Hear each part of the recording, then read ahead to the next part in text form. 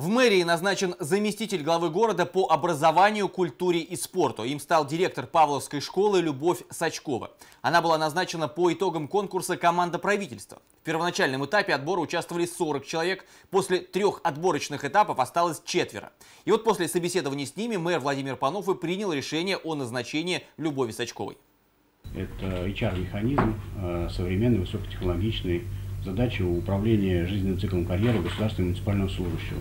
И вот Владимир Александрович, э, как глава города, является лучшим примером и, наверное, я возьму на себя ответственность сказать, что в Российской Федерации на сегодняшний момент нету ни одного города, где настолько публично и открыто, на открытых и доступных процедурах с привлечением общественности выбираются замы главы города. Очень много проектов реализуется, и иногда не хватает просто времени, сил, энергии и организации этой работы.